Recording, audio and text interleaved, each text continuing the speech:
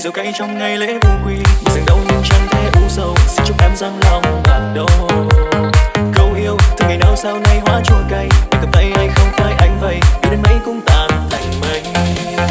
Lời ngọt ngào hôm qua